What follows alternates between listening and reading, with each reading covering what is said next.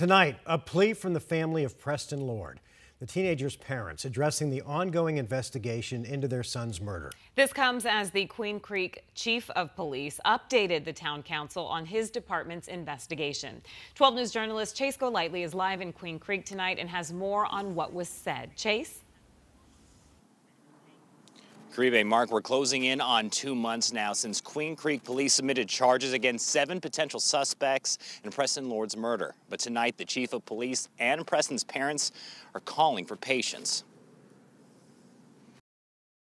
Despite the time that has passed since 16 year old Preston Lord was murdered, justice for Preston remains a top priority for us. It's still the focus for the people and the leadership of Queen Creek. That we continue to work tirelessly to get to a place where this can go to uh, trial. Police Chief Randy Brice saying what he can about this ongoing investigation during Wednesday night's town council meeting. While his department submitted charges against seven people in the teenager's death, he is still asking for anyone with firsthand information on this case to come forward. We're not done. We want to continue to make this a very, very strong case. Those words echoed by Maricopa County Attorney Rachel Mitchell. Please, if you're out in the public and you have information, don't think, well, the police have a video, so I don't need to come forward. We need you to come forward uh, if you have information. Her office continues to review thousands of pages worth of reports and videos shared by police before moving forward with indictments.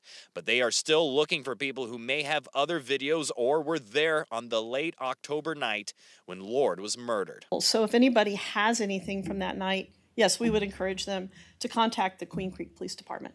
Mitchell also shared this statement that was written by Lord's parents. They wrote they continue to get updates from the county attorney's office about Preston's case.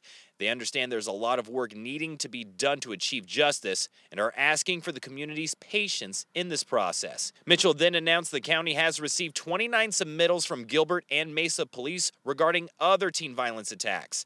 13 are adults and six are teenagers, many of them connected to multiple attacks. Most charges are related to assaults, different classes of assaults depending on uh, the type of injury and, and various factors within the case. Then, just a few hours after this press conference, Gilbert police announced the arrest of two suspects connected to this attack outside a Gilbert home in December 2022. A third suspect in this case had charges submitted against them, but police are calling on the county attorney to order an arrest warrant because that suspect currently lives outside of Arizona. And late today, the county attorney's office announced the indictment of two other teen suspects believed to be involved in an attack that happened at a party in Gilbert back in November of 2022. We're still working to get information on that case. Of course, we'll bring you the latest as we uncover it. For now, we're live in Queen Creek. Chase Golightly, 12 News. Chase, thanks. Tonight,